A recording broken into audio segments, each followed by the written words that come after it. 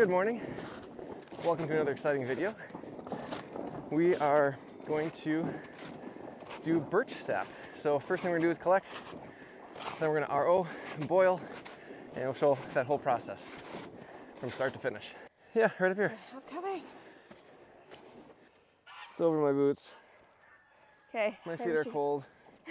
Shoot. You'll be fine. Does it matter what side we go on? I don't know. Does it matter? Does it matter with maples? It's probably the same as for a maple. I don't think it matters. We'll go here. I forgot a hammer. Oh, Can you run up and grab an orange hammer? the orange hammer. You can grab my snowshoes from the back of the truck. That'd be great too. Okay. Thanks, Get your love you. snowshoes. Can you grab my snowshoes? Oh man. Should have wear socks. I'm in a hole now. Oh yeah, look at that. Oh no! Nicely done. There we go. Take two. I should have gotten myself Oh. some snowshoes. Oh! It's flowing. Is it? Yeah, it is. Yeah. Birch sap. Hang on. That's good enough. Oh. Okay, we're not gonna go to that one down there. We have to walk through a lot more snow. Well, it's melted around the base. You coming? Yeah, I keep sinking Okay. to my knees every step. Happy April. You're doing good. At least it's warm out. Don't worry, May is coming. Yeah. Uh, you think it'll be spring by the time we reach May? I'm just hoping we could swim by September. Okay. Okay. Practiced. Tree number two.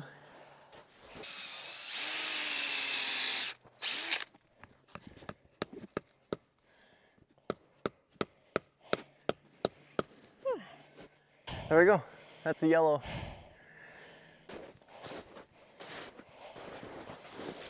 Gosh, that's a good looking treehouse.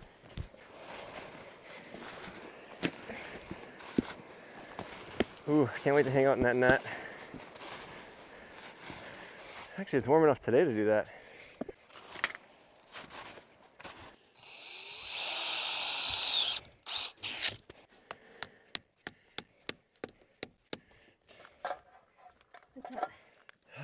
There we go.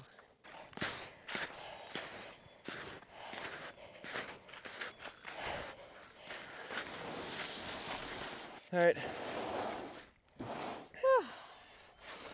It's hot out. Are you recording? Yeah, I'm recording you. Oh, okay. Oh, let's go here. Oh.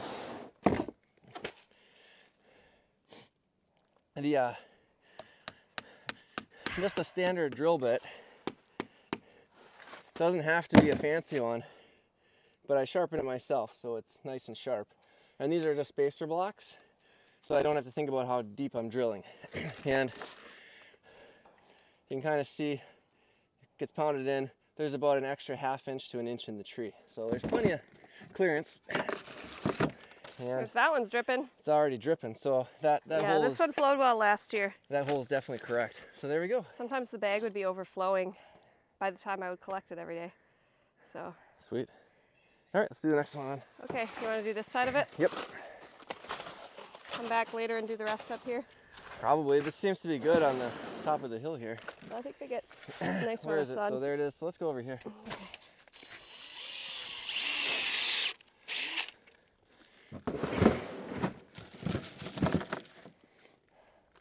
Wow, look at that go. yeah.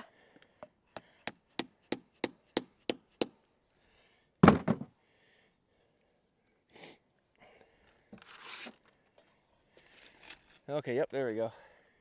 How's it taste? And like nothing. Probably like water, right? Yeah, basically mineral water because there's so many minerals in it. Can you test the yeah, sugar at content? If I had the refractometer, I could test it right now. Look at it go! Holy cow! Well, there's no question that that hole and tap is done correctly. Yep. All right.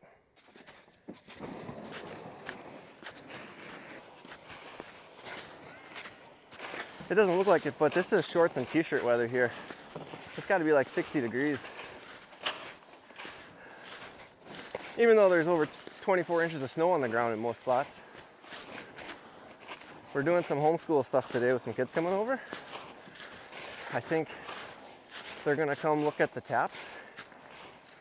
I think secretly though, that's my wife's plot to pack down a trail.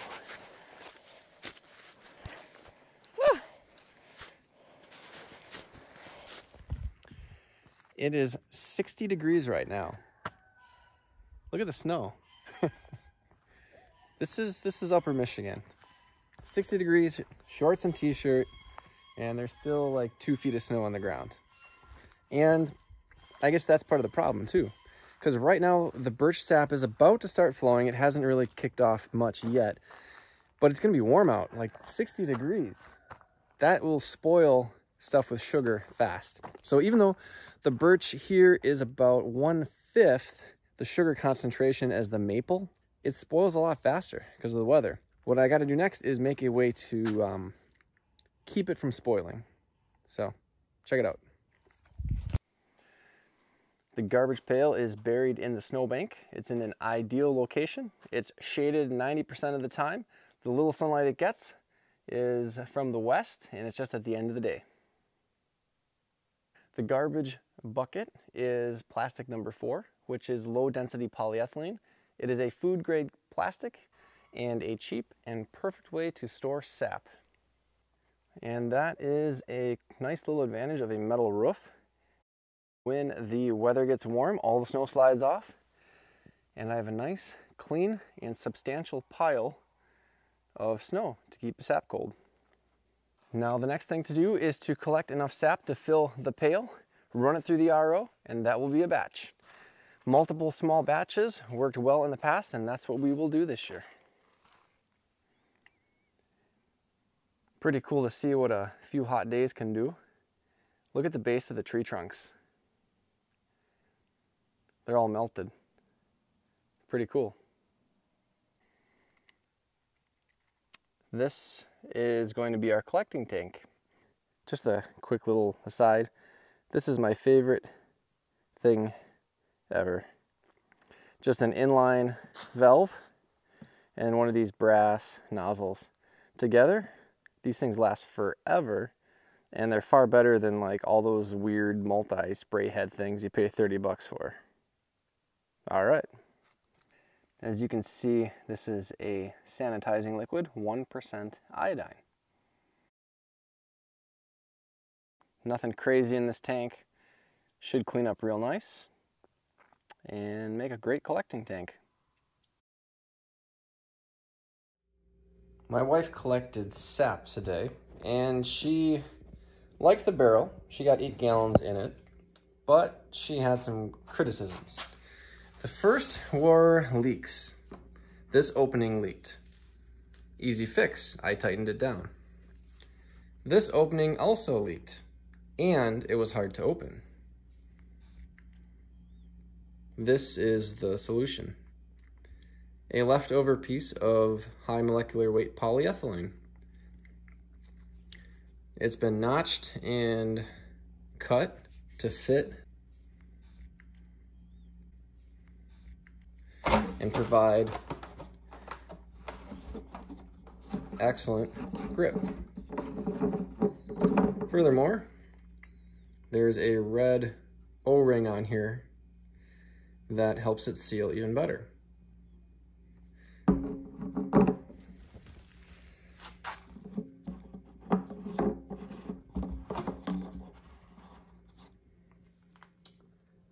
I await her review tomorrow.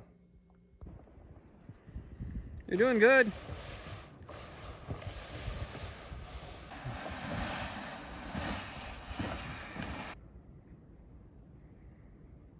Trying to find something to grab. Oh, these are sticks.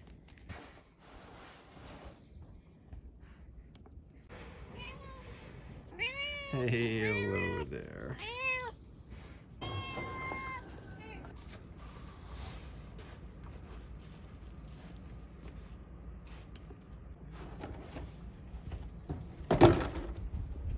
Looks like I'm needed. Thanks. Never mind.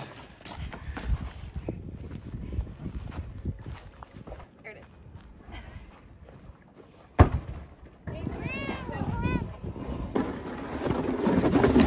right, what's the deal? Um, I need you to hold the sieve because there's bugs. Oh, gotcha. Get out there, bug.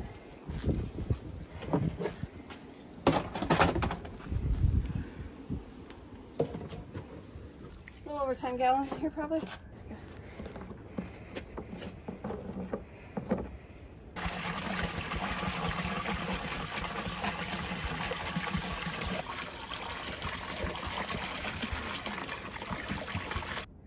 Yesterday, the high was not as warm. It was like 60 something. Today, the high was in the 80s. Wow. It was hot. Here's a look at our it, was, snow it got situation. cold overnight. It was like down to 30 something overnight. So I think that's why it flowed a lot better today than yesterday. I should put my lid back on so I don't get.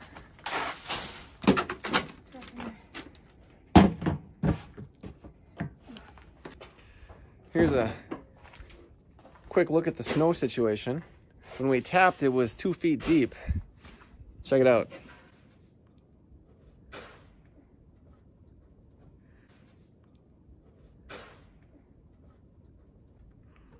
High high areas are snow free. Still over a foot in the valley though. Big snow for. This is hard. Our snow reserve is getting depleted. But that's okay. We're gonna do a batch real soon. Yeah, we're supposed to get more cold weather starting Sunday night.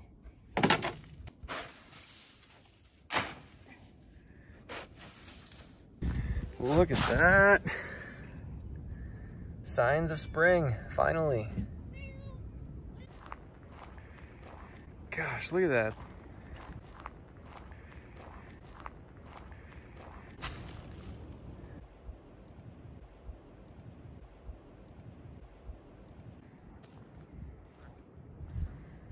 You ready to uh, start boiling tomorrow?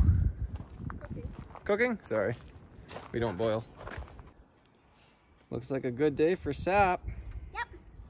Snow's melting and gosh, it's got to be what, 65, 70 right now.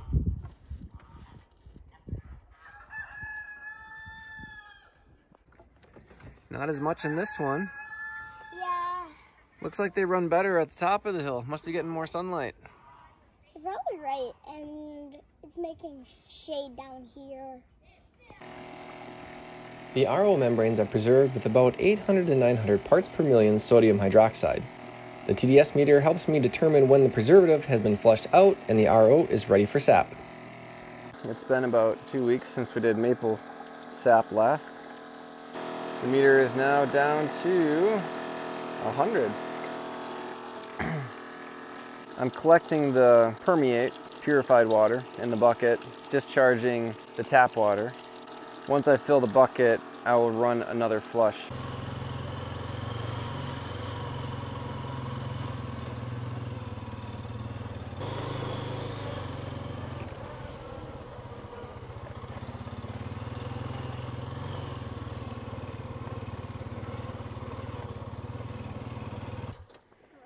Looking good.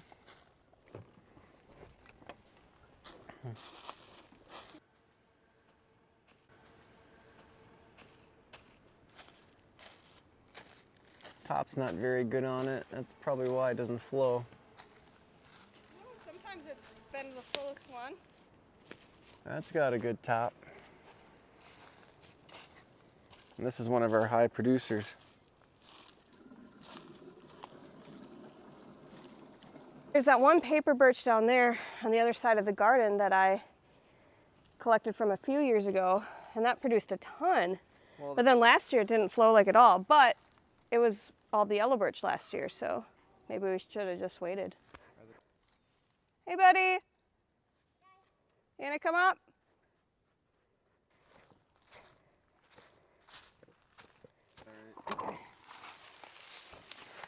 Ooh, it's heavy.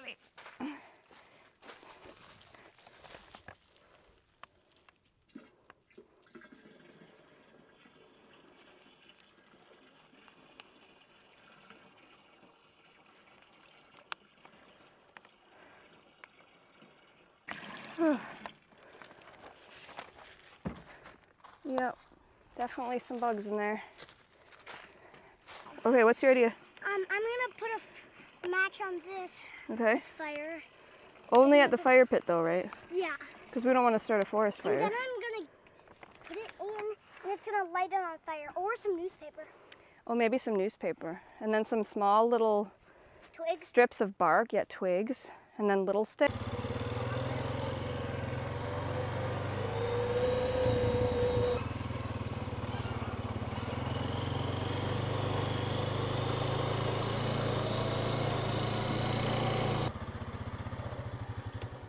All right.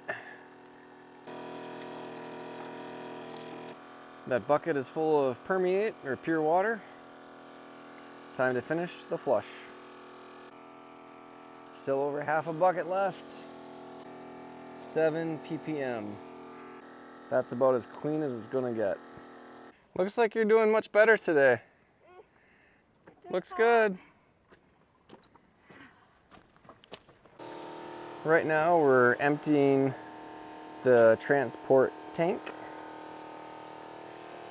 pushing some concentrate into the barrel.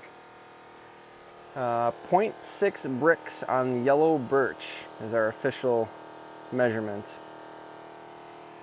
The permeate, the purified water, we are collecting into our gallon jugs, and that will be saved and used in the little mini ultrasonic humidifier in our incubator.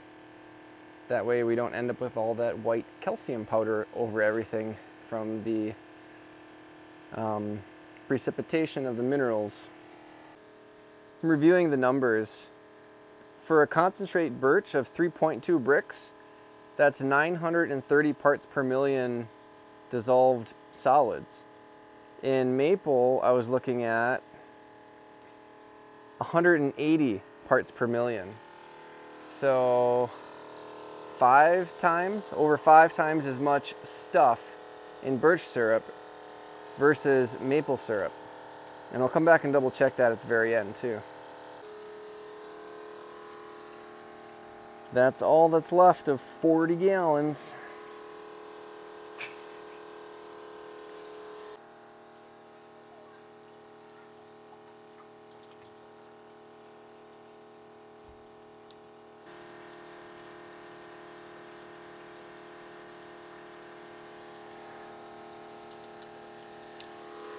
Five point five.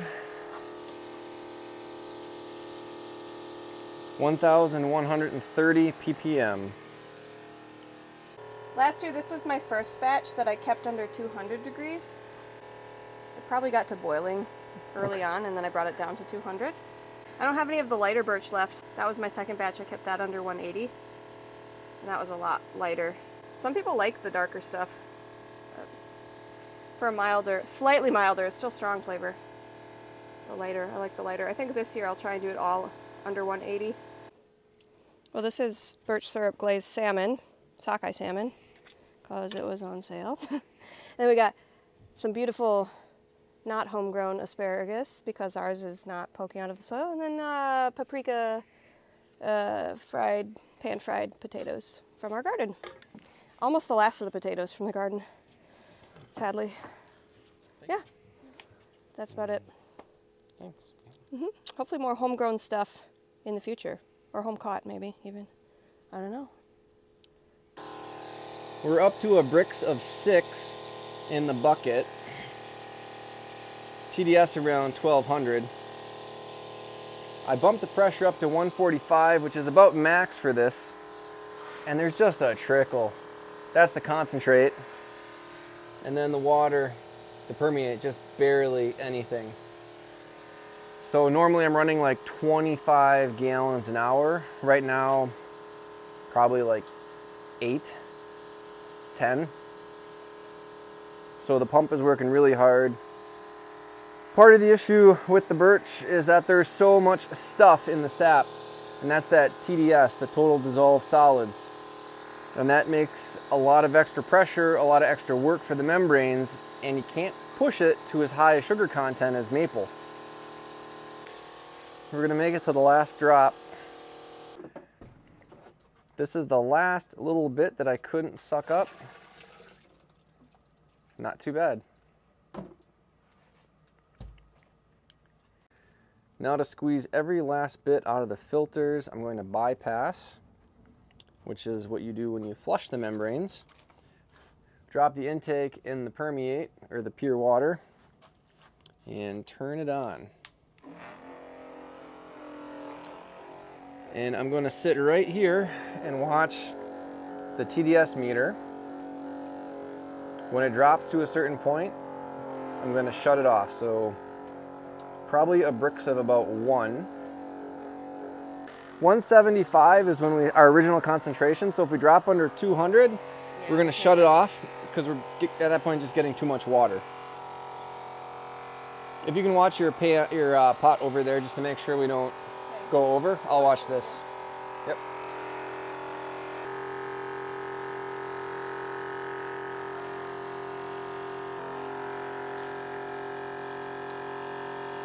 Under four.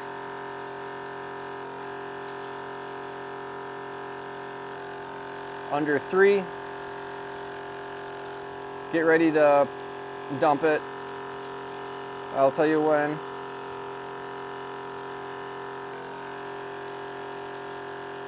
And we're at 200, go ahead and dump it.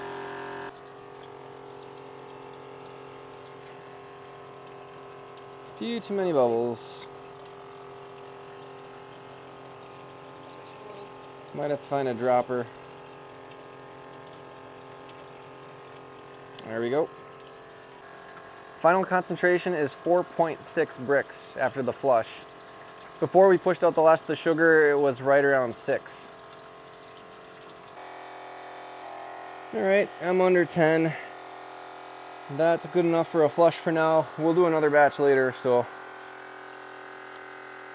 yeah. Last year I did two batches. The first batch I kept under about 200, and then the second batch I kept under about 180. So I'm kind of splitting the difference because it takes forever to cook the sap down when it's like below 180. So I think I'm gonna try and keep it between 180 and 190 so you still get some clarity in the color so it's not super dark. But um, also it doesn't go super slow either. So we'll see. I think Can it's gonna turn out. Can you set the temperature and then just like walk away for 12 hours or? Um, no, not with the electric stove. Well, probably any stove because as the quantity diminishes, then my stove does a better job heating it up. So I kind of have to adjust as I go. So as the as the level gets lower, you can see it's already gone down quite a bit. But as the level gets lower, I'll have to reduce the temperature a bit. And then overnight, I still keep it on, but on like the lowest heat setting. Um, but I wouldn't do that if it was really close to finishing, because that would be pretty risky. But it, it takes me like a couple days at like this low heat setting to get to the uh, actual syrup level. But yeah, look how much sediment is in this stuff. I don't know if you call it sediment, but it's, if that's the right word. This must be all like the minerals from the tree and stuff. So I, I will filter it through some um, cheesecloth or butter muslin or something. Or maybe just some clean dish towels if I don't have the other stuff at the end. But um, yeah, that'll take out some of that extra residue, but still leave in plenty of the uh, flavor components of the sap. Yep.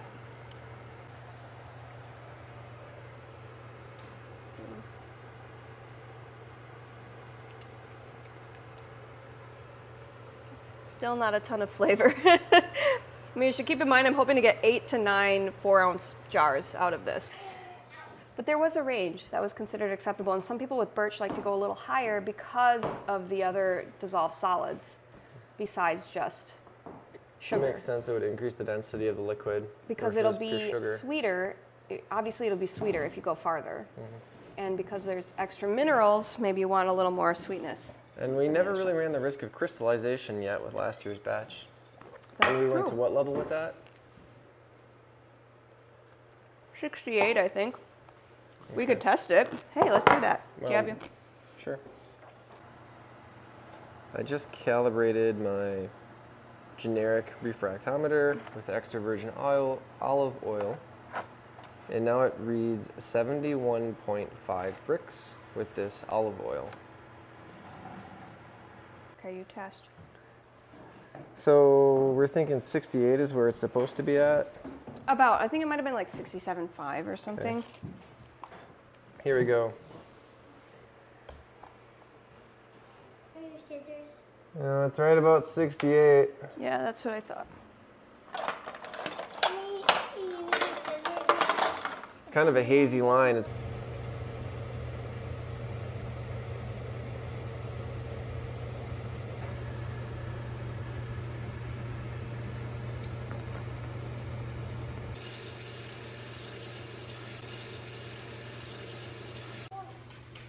So I strained it um, from the large pot into the smaller pot. And this is the residue you can see was left behind. Minerals and such. Actually, it doesn't taste terrible. but um, yeah, take out some of that sediment. Try some. sure. It doesn't, doesn't mean, taste it- bad. It looks like mud, but it tastes. It It, does tastes- taste very minerally. I I feel like I was eating a vitamin, almost. Yeah, but there's a little sweetness because obviously some of the um, syrup is attached So attached it's to a it. chewable vitamin. Yeah, it's a chew. it's like Flintstones, Birch Flintstones vitamins. Good stuff. Good for you. So maybe when I was measuring before, maybe I had it too thick because you gotta like press down, right? Oops. Well, bubbles will make it fuzzy. That's, See, that's okay. good. Yeah.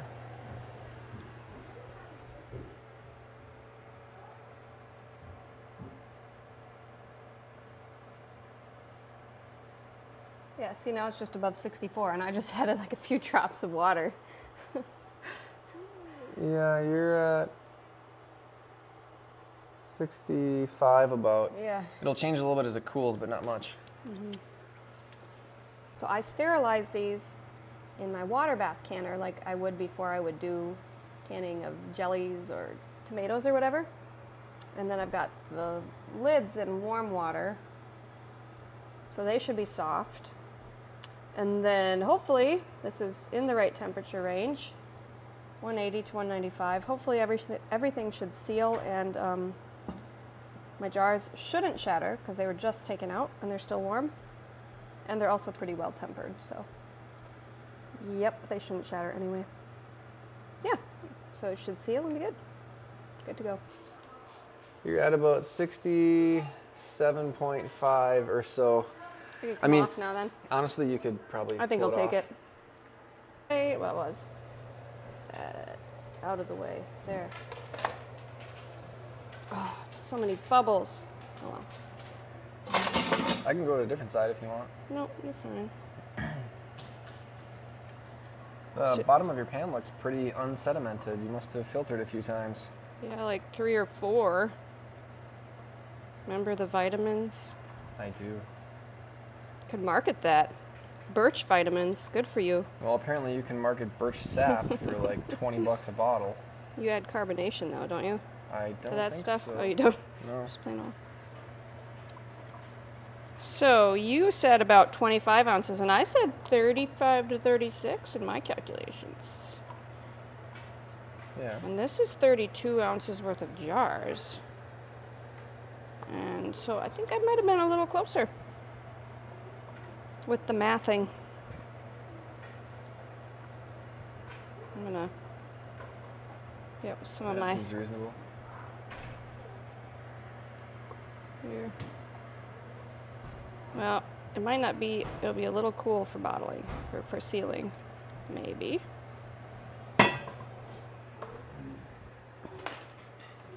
Some handy canning tools. Where we at?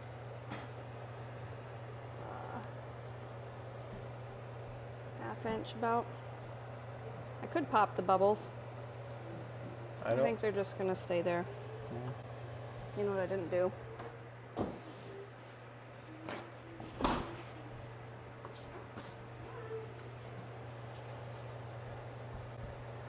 Wipe these a bit.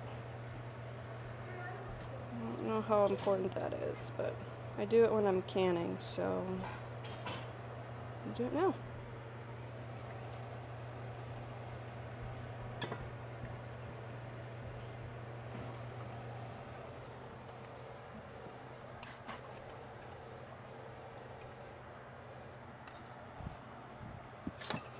Ah, this was-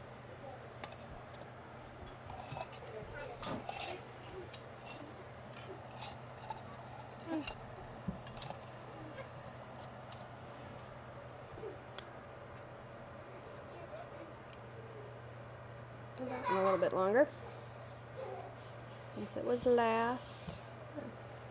All right. Hopefully those seal up as they cool down. 30 ounces? 32. Are you sure? What's full on there? Actually, I don't know. I can measure one. Got one right up here. Ooh, right at the top. You're right. It's four ounces? It's four ounces. Yeah. So.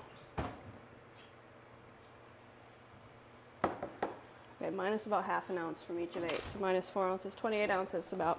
That's what I said. 25. So I made um, pork spare ribs and I glazed them with birch syrup for the last about hour, hour and a half. Yeah, and I pulled them out twice to add the coating of uh, birch syrup glaze. But previously they had been um, coated with a dry rub. And they were cooked at 300 degrees Fahrenheit. So yep, I don't know how they've turned out. Hopefully good. Birch syrup makes a great glaze. I'm a fan. Local brewery, this goes great with birch glazed meats. In case you're wondering. So Well- what, what batch number is this now? This is the second batch. Okay. And uh, this pot is right here. That's the second batch. This is batch three. Batch two is getting close. It's really close in Brix to being ready to bottle. But I kept tasting it and noticing it tasted kind of gritty. So I decided to strain it one more time. And I strained it through some butter or some muslin. And then I, uh, yeah, this this is what came off of it. This is all like What's the consistency? Well, it feels like sand. yeah, sandy Play-Doh. And what's the taste? Um, Vitamin-y? yeah. Um, yeah, vitamin E. That's a good description. Probably good for you, right? Like it's all tree minerals. It's crazy though. Hey, that's my word. hmm Okay, It's crazy. it's crazy. But there's even more in here that I could get out of it. That's nuts. I can't believe. Wow, I'm just like my And this- mind is blown by this. And this quantity is from what, a 30 ounce batch perhaps? Well, let's see. Yeah, we'll probably get eight or nine four ounce jars out of it. So that's like three and a quarter ounces by volume, a total of syrup per jar. So yeah, 30 ounces of volume. Well, less now. Less now. That would have been, that's like almost, this is like the jars I put in it. uh, yep. It's impressive to me. But the first batch was nothing like this. So I'm curious to see about batches three and four, what the mineral content is like on those. Me too. Yeah. I did a lot of batches of birch syrup this year. And it was a long time. So let's see, batch one, I think we tapped the day after Easter. That was the warmest weather. We had a 70.3 was the average high, 42.8 was the average low, and the overall average temperature was 53.3. I had uh, 28 ounces approximately out of that batch. So, yep, then batch two. There was a lot of sediment that I was able to get strained off of this batch. That's the thing that I remember the most about that. I had like more than a half full jar just of sediment because I wanted to save it. It's just a bunch of minerals. But yeah, some, yeah, you can see some stayed, some still stayed behind. 39.3 was the average high, so it was pretty cool during batch two. 27.8 was the average low, and 32.6 was the overall average. That was cold. Interesting. Uh, batch three was pretty small because that was only like a day and a half or two days of collecting. So yeah, that was the lightest color probably because it was cooking the shortest, I would guess. So yeah, batch three, the temperature, 53.5 was the average high, 34 was the average low, 38.2 was the overall average temperature. So above freezing there. And I only had like 12 ounces total from batch three. Batch four was my biggest batch. It was the last batch. Uh, the concentrate had a stronger smell when it was first brought in to cook after going through the RO. So it had definitely a strong, I don't know how to describe it. It was just stronger smelling. It wasn't bad, but it definitely had more of an odor. And it had a lot of sediment, yeah, you can see. Lots of sediment has settled on the bottom. Even though I, I did filter it, I filter all of them like four times at least through the process. But batch four, I had some difficulty getting it filtered. It would clog up. And so then I ended up, you know, like squeezing it through and then some of the sediment came through, obviously with, with the syrup. So my assumption is that that would be the strongest tasting. I don't know, we didn't do a taste test comparison. But the average high for batch 4 was 40 degrees, so it wasn't super warm. And the average low was 26, so it was below freezing again. And then 31.4 overall average, that's crazy. And then 39 ounces total from that batch, so it was a big batch. Thanks for hanging out and checking out our process for making birch syrup. I hope you learned something, and if you have any questions, hit me up in the comments. Take care, and until next time.